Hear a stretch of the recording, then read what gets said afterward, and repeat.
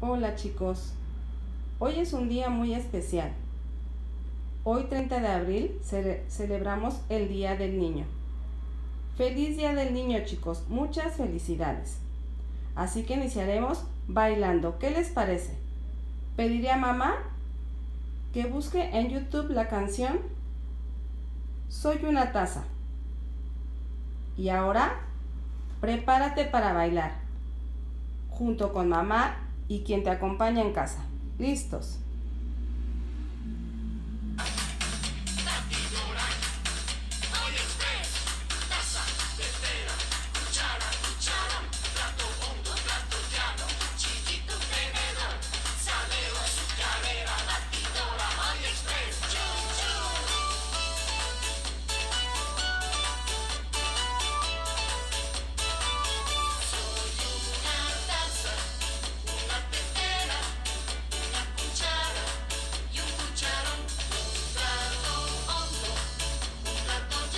Con mucho ánimo chicos, todos bailemos en casa.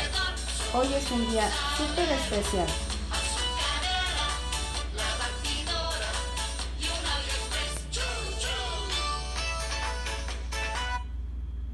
Ok.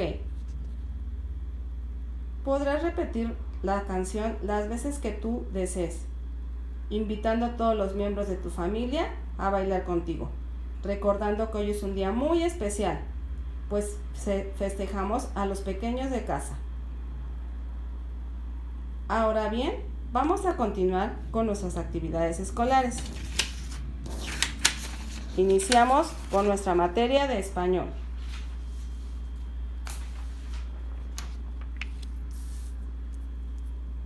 Vas a tomar tu libro en la página 170.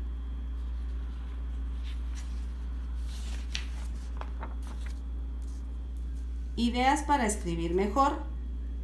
Juegos con el lenguaje. Nos indica escojan un juego de palabras y jueguen. Crucigramas, trabalenguas, basta, con todas las letras y sopa de letras. Recordando que el día de ayer jugamos basta. Ya habíamos trabajado con los trabalenguas y con las sopas de letras. Esa parte solo la leerán van a dirigirse a la actividad número 4. En una hoja blanca vas a escribir las siguientes preguntas y las vas a responder. ¿Qué diferencias hay entre los juegos de antes y los de ahora? ¿Por qué han cambiado? ¿Qué juegos te gustan más? Esas preguntas deberás responderlas en hoja blanca con tu nombre completo y fecha. Posteriormente pasamos a la página 171.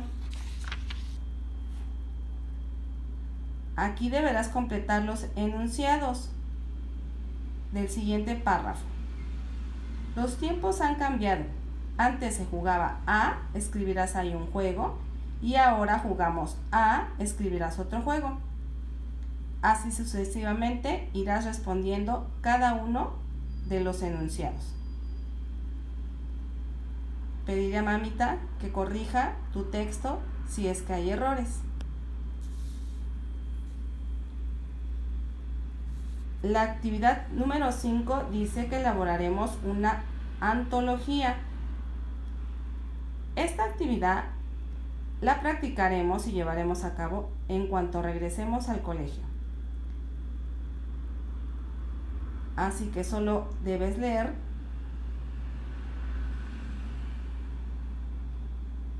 y posteriormente regresando al colegio pondremos en práctica esta actividad número 5.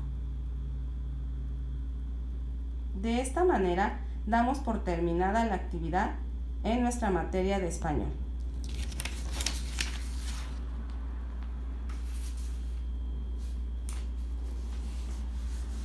Ahora bien, pasamos a nuestra actividad en conocimiento del medio.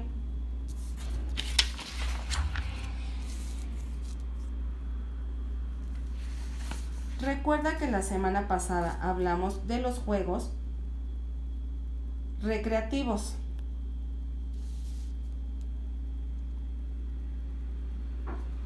vas a tomar tu libro en la página 173. Encontrarás el juego de la oca.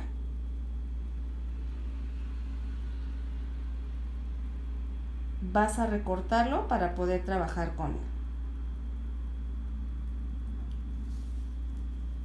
Te voy a explicar las reglas del juego. Se tira el dado y el jugador avanza los lugares indicados. Cuando un jugador cae al pozo, espera hasta que otro caiga. Si el jugador cae en una oca, avanza automáticamente a la siguiente casilla con oca y vuelve a tirar.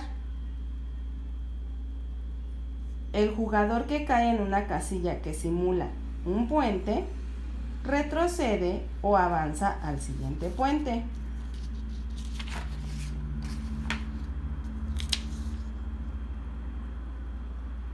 Aquí debes jugar con mamá o con papá o con algún miembro de tu familia que se encuentre contigo. Después que realizaste esa actividad, toma tu libro en la página 126. Conocimiento del medio. Y vas a dibujar una actividad recreativa del lugar donde vives. Después responderás la pregunta, ¿por qué te parece una actividad recreativa?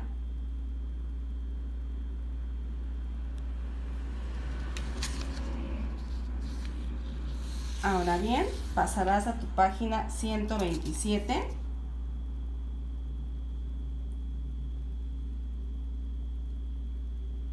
Y con ayuda de mamá vas a elaborar esta tabla escribiendo una lista de las actividades recreativas de tu comunidad y el lugar donde se realizan.